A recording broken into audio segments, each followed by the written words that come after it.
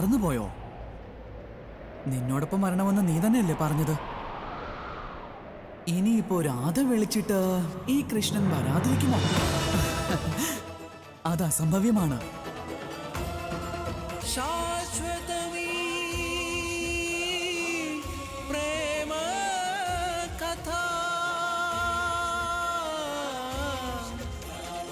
അപ്പോൾ ഞാൻ പറഞ്ഞതുകൊണ്ട് മാത്രമാണോ നീ എന്നെ പിന്തുടർന്നത് കൃഷ്ണ?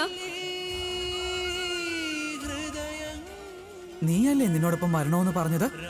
അതുകൊണ്ട് വന്നു. എന്റെ വാക്കുകൾക്ക് നീ ഇത്ര പ്രാധാന്യം നൽകേണ്ട ആവശ്യം എന്തായിരുന്നു? നിന്റെ ജീവൻ കൂടി ഇങ്ങനെ അപകടത്തിലാക്കിയത് ഒട്ടും ശരിയായില്ല കൃഷ്ണ. എന്റെ ജീവനെ കുറിച്ചാണോ നിന്റെ ഭയം? പക്ഷെ എന്റെ ജീവൻ നീയാണ് രാധേ.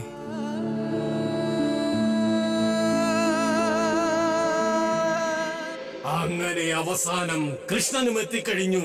സ്വന്തം മരണമുഖത്ത്.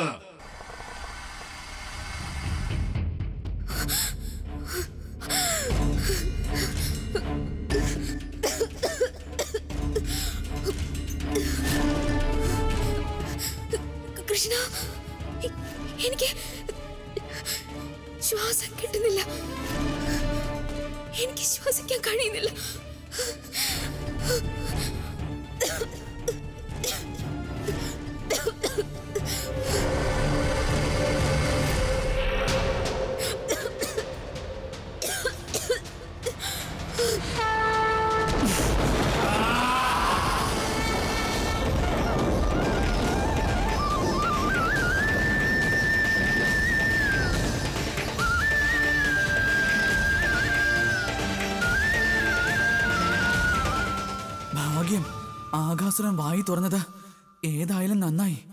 അതെപ്പോഴും തുറന്നു തന്നെ ഇരിക്കണം.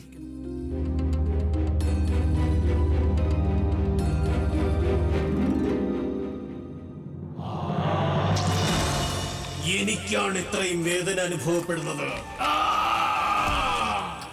എനിക്ക് ഈ കൃഷ്ണനെയും കൊണ്ട് ഉടൻ തന്നെ മധുരയിലേക്ക് പോകേണ്ടതുണ്ട്.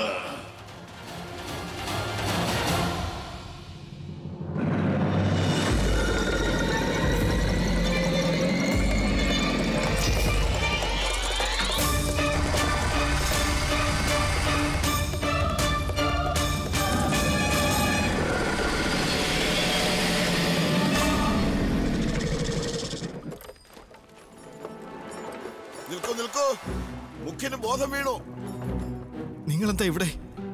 എന്താണ് സംഭവിച്ചത്? അങ്ങയോട് ഒരു കാര്യം പറയാനുണ്ട്. ഒരു അനർത്ഥം സംഭവിച്ചിരിക്കുന്നു. അങ്ങയുടെ ജീവൻ രക്ഷിക്കുന്നതിന് വേണ്ടി രാധ ആകാസുരന്റെ സമീപം സ്വയം ബലി നൽകാൻ പോയി.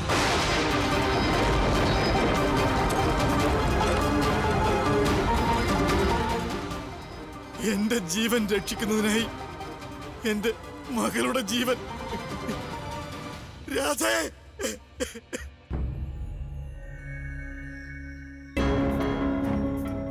ഇതിനുള്ളിൽ നിന്ന് പുറത്തു കടക്കാൻ എന്തെങ്കിലും മാർഗം ഉണ്ടാവും. കൃഷ്ണന്റെ ജീവനും ഞാൻ കാരണം അപകടത്തിലായി. എങ്ങനെയെങ്കിലും കൃഷ്ണനെ സുരക്ഷിതമായി എനിക്ക് പുറത്തെത്തിക്കണം. ഭയത്തിൽ നിന്ന് മോചനം നേടുവാനുള്ള ആദ്യത്തെ ചുവടുവയ്പാണിത് ഭയം നമ്മെ നമ്മുടെ സുരക്ഷയെ വിസ്മരിപ്പിച്ച് മറ്റുള്ളവരുടെ സുരക്ഷയുടെ കാര്യത്തിൽ ശ്രദ്ധ പതിപ്പിക്കാൻ സഹായിക്കുന്നു.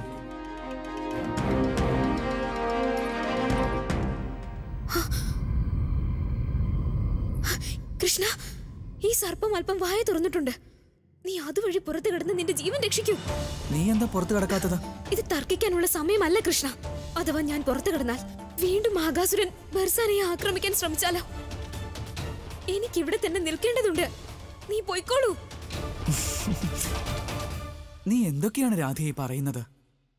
എനിക്ക് എന്റെ ജീവനിൽ അത്രത്തോളം മോഹം ഉണ്ടായിരുന്നെങ്കിൽ ഞാൻ ഇതിനകത്ത് വരുമായിരുന്നോ? കൃഷ്ണ ഇത് കളിയൊന്നുമല്ല. നീ എന്താ തമാശ പറയാണോ അല്ല രാധേ. തമാശയല്ല. ഞാനിപ്പോൾ തീർത്തും സത്യമാണ് പറയുന്നത്. രാധയെ ഈ സുന്ദരമായ നിമിഷത്തെയും പ്രതീക്ഷിച്ചുകൊണ്ടാണ് ഞാൻ ഞാൻ ഇത്രയും കാലം കാത്തിരുന്നത്.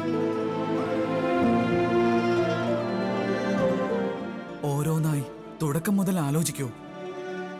അവ എന്തിനു വേണ്ടിയായിരുന്നു? നമുക്ക് രണ്ടുപേർക്കുമിടയിൽ സംഭവിച്ചുകൊണ്ടിരുന്നത്. ഓർമ്മിച്ചു നോക്കൂ രാധേ. എങ്ങനെയാണോ എന്നെ കാണുന്നത്? അതുപോലെ അല്ല ഞാൻ. ഞാൻ എങ്ങനെയാണോ അതിനായി എന്നെ നോക്കേണ്ട ആവശ്യം തന്നെയില്ല. ആ ബഗാസുരൻ എന്റെ നിർദ്ദേശപ്രകാരമാണ് ഇവിടെ വന്നത്. ഞാൻ എന്റെ ശക്തി പ്രയോഗിച്ച് ഈ തരിശു ഭൂമിയെ ഹരിതാപമാക്കുമ്പോൾ ഒരു വ്യക്തിയും അല്പം പോലും സംശയിക്കരുത് ഇതിന്റെ പിന്നിൽ ഞാനാണെന്ന്.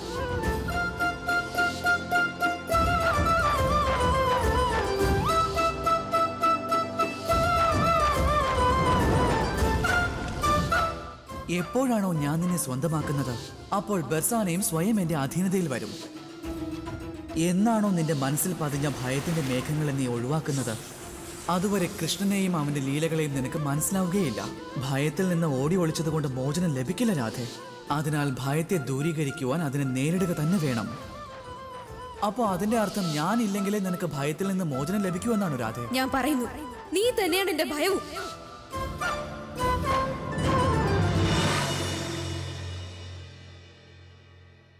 അപ്പോൾ നീ എന്നെ എന്റെ ഭയത്തിൽ നിന്ന് മോചിപ്പിക്കാനാണ് ആഗ്രഹിച്ചതല്ലേ? പക്ഷെ ഞാൻ നിന്നെയാണ് എന്റെ ഭയത്തിന് കാരണമായി കരുതിയത്. ഭയത്തിന്റെ കാർമേഘങ്ങൾ മാറിയതിന് ശേഷം അറിവിന്റെ സൂര്യകിരണങ്ങൾ എത്ര വ്യക്തമായാണ് കാണുന്നത്. നിർഭയമാകുന്ന പ്രകാശത്തിൽ എല്ലാം എത്ര വ്യക്തമായാണ് കാണുന്നത് രാധേ. ഞാൻ ബർസാനയിലെ ഒരു പെൺകുട്ടിയെ പ്രണയിക്കുന്നു. അപ്പോൾ അവൾ ആ പ്രണയിനിയുടെ കാര്യം? നിനക്ക് എന്താ തോന്നുന്നത്?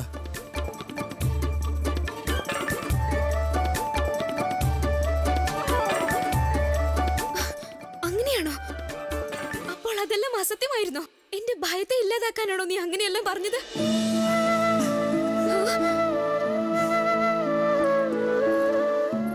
അതിനർത്ഥം ബർസാനെ സ്വന്തമാക്കുക എന്നിൽ അധികാരം സ്ഥാപിക്കുക? ഇതൊന്നും നിന്റെ ലക്ഷ്യമല്ലായിരുന്നെന്നാണോ?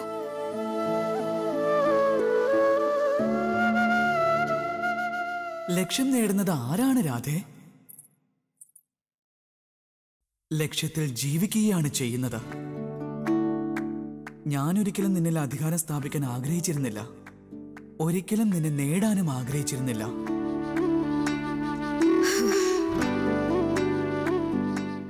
കാരണം സ്നേഹവും ലക്ഷ്യത്തെ പോലെ തന്നെ നേടിയെടുക്കേണ്ടതല്ല. അനുഭവിച്ചറിയേണ്ടതാണ്. നേടുന്നതും നഷ്ടപ്പെടുന്നതുമെല്ലാം വ്യാപാരികളുടെ കാര്യമാണ്. പൂജാരിയുടേതല്ല. എന്നാൽ നീ എനിക്ക് പൂജാ വിഗ്രഹമാണ് എന്റെ ആരാധനാമൂർത്തി. ഇത് ജന്മാന്തര സുകൃതമോ ഇത് ജന്മാന്തര സുകൃതമോ ദേവപുണ്യമാം അപ്പോൾ നിന്റെ ഉദ്ദേശം എന്നെ ഭയത്തിൽ നിന്ന് മോചിപ്പിക്കുക മാത്രമായിരുന്നു?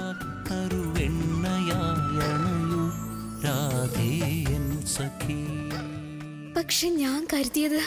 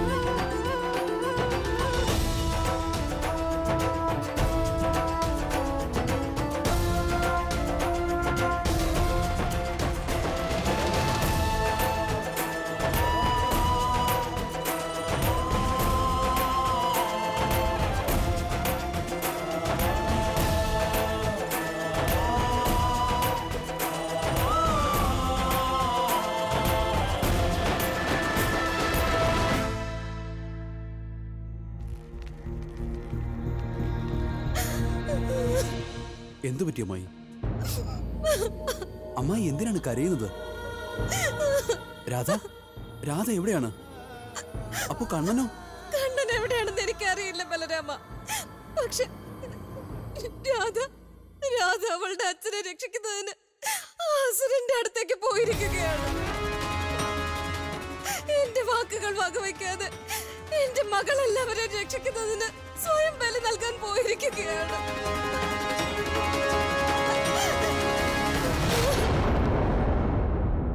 നീ എന്താണ് ഇവിടെ നിശബ്ദനായി നിൽക്കുന്നത് എന്ന് നീ വലിയ ധീരനാണെന്നല്ലേ കരുതിയിരിക്കുന്നത്? ധീര യോദ്ധാവെന്നല്ലേ അറിയപ്പെടുന്നത്?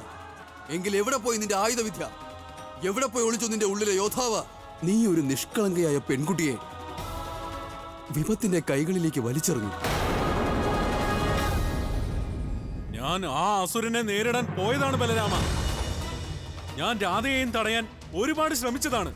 പക്ഷെ ആരുടെ വാക്ക് കേൾക്കാനും അവൾ തയ്യാറായിരുന്നില്ല.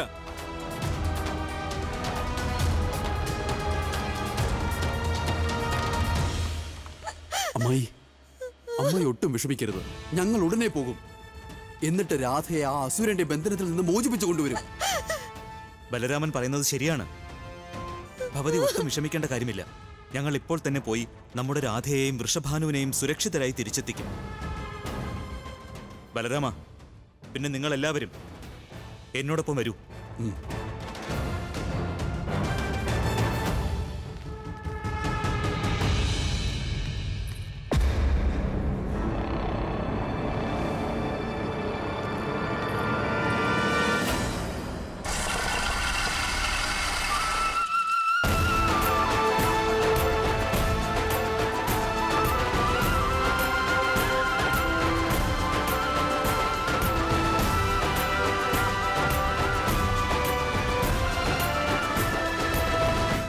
സുഹൃത്തെ വൃഷഭാനു. രാധേ. വൃഷഭാനു. വൃഷഭാനു. ബലരാമ. അയൻ അങ്ങോട്ട് നോക്കൂ. സുഹൃത്തെ. നന്ദ. എന്തു പറ്റി എനിക്ക് കുഴപ്പമൊന്നുമില്ല നന്ദ. ആസുരനിൽ നിന്നും ഞാൻ രക്ഷപ്പെട്ടു. പക്ഷെ എന്റെ മകൾ വൃഷഭാനു ഒന്ന് സമാധാനപ്പെടും. ഇത് വിഷമിക്കാനുള്ള സമയമല്ല. യുദ്ധത്തിനുള്ള സമയമാണ്. നാം ഒരുമിച്ച് ആ അസുരനെ നേരിടും. നമ്മുടെ രാധയെ സുരക്ഷിതയായി തിരിച്ചു കൊണ്ടുവരും. ഏതു ദിക്കിലേക്കാണ് അസുരൻ പോയത്?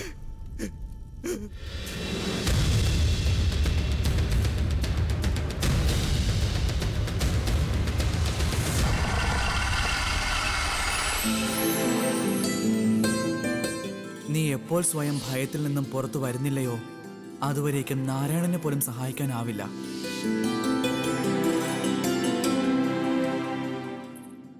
കൃഷ്ണ മനുഷ്യന് നാരായണനാകാൻ സ്വയം പരിശ്രമിക്കേണ്ടി വരുമെന്ന് നീ പറഞ്ഞില്ലേ? നമ്മൾ രണ്ടുപേരും ഇപ്പോഴും ജീവനോടെയുണ്ട്. അപ്പോൾ അതിന്റെ അർത്ഥം ഇത് തന്നെയാണ്. നാരായണൻ ഇപ്പോൾ ആഗ്രഹിക്കുന്നത് നമ്മുടെ ജീവൻ രക്ഷിക്കുന്നതിന് നാം സ്വയം പരിശ്രമിക്കണമെന്നാണ്. അത്ഭുതം. ഇതാണ് ഞാനും ആഗ്രഹിക്കുന്നത്.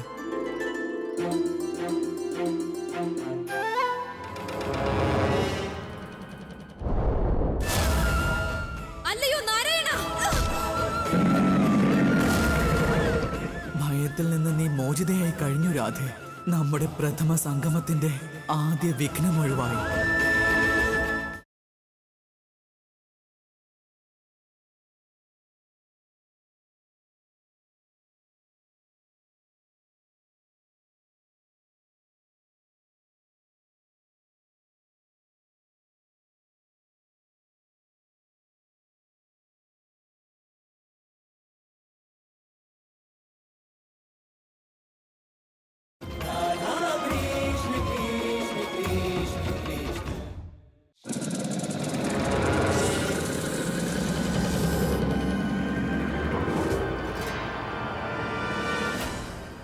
നമുക്ക് എങ്ങനെയെങ്കിലും ഇവിടുന്ന് പുറത്തു കടക്കാനുള്ള ഉപായം ആലോചിക്കണം.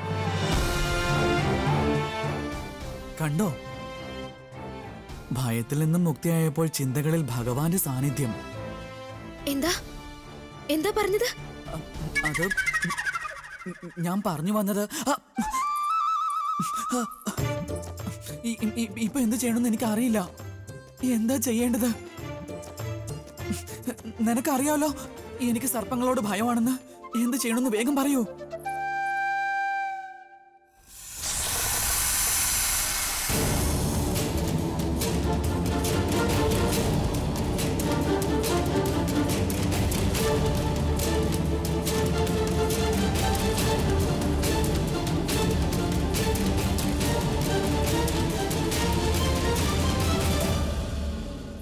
ഉപായം കിട്ടിയിരിക്കുന്നു. ഇതിന് നല്ലൊരു പ്രഹരം നൽകണം. അപ്പോൾ വേദന കൊണ്ട് ഇത് വായി തുറക്കും.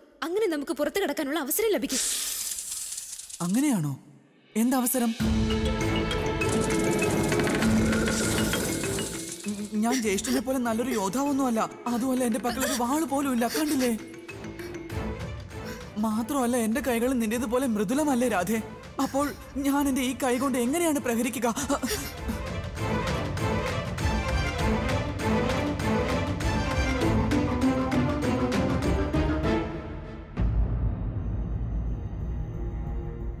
ആയുധമെന്ന് പറഞ്ഞാൽ ആപത്തിൽ ഉപകാരപ്പെടുന്നതാണ്. നിന്റെ പുല്ലാങ്കുഴൽ തരൂ. പുല്ലാങ്കുഴലോ?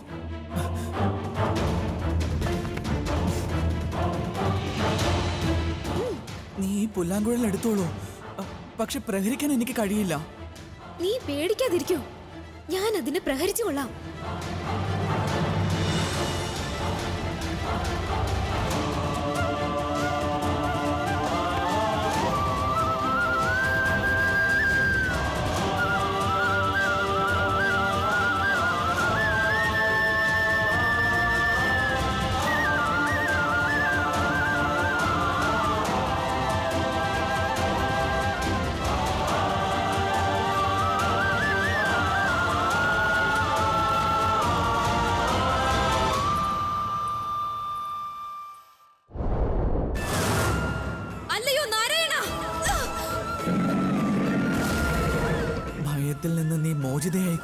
കഴിഞ്ഞു നമ്മുടെ പ്രഥമ സംഗമത്തിന്റെ ആദ്യ വിഘ്നം ഒഴിവായി.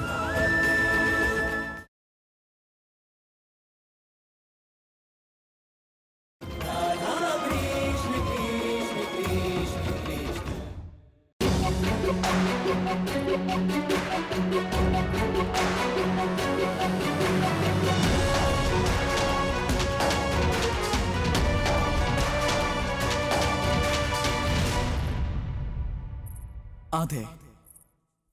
ഈ നിമിഷത്തിനു വേണ്ടിയായിരുന്നു ഇതുവരെയുള്ള യാത്ര മുഴുവനും. ഏത് ഭയമില്ലായ്മയാണോ ഇന്ന് നിന്റെ കണ്ണുകളിൽ കാണുന്നത്. അതായിരുന്നു എന്റെ മനസ്സിലെ വ്യഥയും.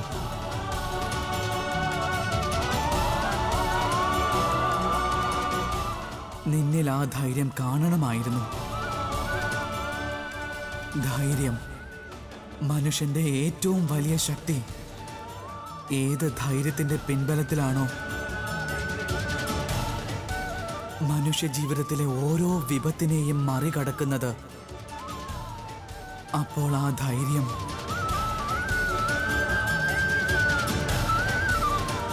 അത് ഇനി മുതൽ ഭയത്തിന്റെ സ്ഥാനം കൈയടക്കും.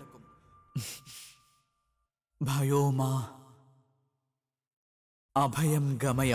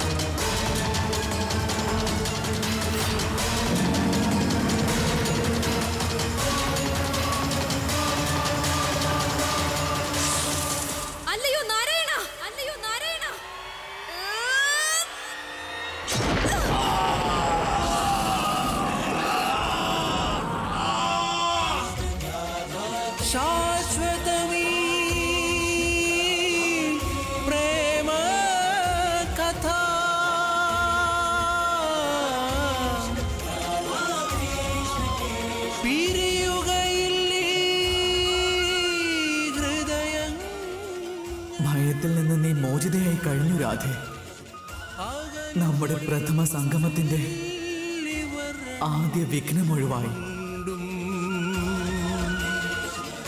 രാധയും കണ്ണനും ഒന്നല്ലേ?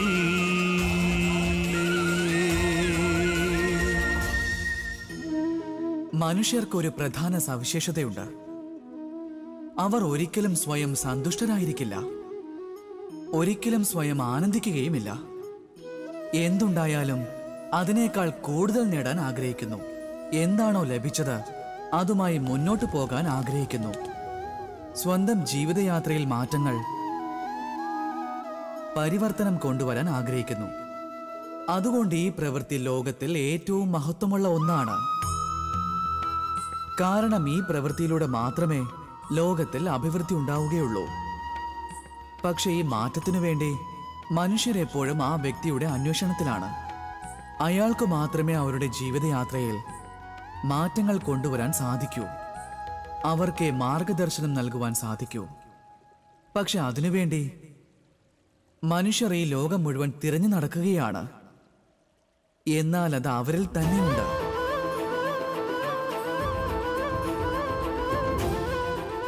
ആരാണെന്ന് അറിയാമോ അത്? അഥവാ ആരെങ്കിലും നിങ്ങളുടെ ജീവിതത്തെ മാറ്റുന്നുണ്ടെങ്കിൽ സ്വന്തം പ്രതിബിംബത്തിലേക്ക് നോക്കൂ. അതുകൊണ്ട് നിങ്ങൾക്ക് തന്നെയാണ് നിങ്ങളുടെ ജീവിതത്തെ മാറ്റാൻ കഴിയുക. നിങ്ങൾക്ക് തന്നെയാണ് നിങ്ങളുടെ ജീവിതത്തെ മാറ്റുവാൻ കഴിയുക. ജീവിതത്തിൽ മാറ്റങ്ങൾ കൊണ്ടുവരാനാവുക. പരിവർത്തനം കൊണ്ടുവരിക. അതുകൊണ്ട് നിങ്ങളുടെ ഉള്ളിലുള്ള ആ ശക്തിയെ തിരിച്ചറിയൂ. എന്നിട്ട് ഇത് വിശ്വസിക്കൂ. ഈ ലോകത്ത് നിങ്ങളെക്കാൾ ശക്തിശാലിയായി ആരും തന്നെ ഇല്ലെന്ന്. ജീവിതയാത്രയിൽ മാറ്റമുണ്ടാകും. ഇനി അന്ധവിശ്വാസമല്ല. ആത്മവിശ്വാസമാണ് സ്വന്തമാക്കേണ്ടത്. നിങ്ങളുടെ സമസ്യകളെല്ലാം സ്വമേധയാ അവസാനിക്കുന്നതാണ്. അതുകൊണ്ട് സ്നേഹത്തോടെ പറയൂ. രാധേ രാധേ. അല്ലയോ നാരായണ ദയവുണ്ടാകണം പ്രഭു. ഇപ്രാവശ്യം എനിക്ക് നിന്റെ സഹായം ആവശ്യമായി വരുന്നതാണ് രാധേ. ഏതു ഭയത്തിൽ നിന്നാണോ നീ എന്നെ മോചിപ്പിച്ചത്? എന്നിൽ ധൈര്യം നിറച്ചത്? അതേ ധൈര്യത്തോടെ തന്നെ ഇനി ഞാൻ നേരിടും. ഈ ധൈര്യത്തോടെ തന്നെ ഞാൻ മുമ്പോട്ട് പോകുന്നതാണ്.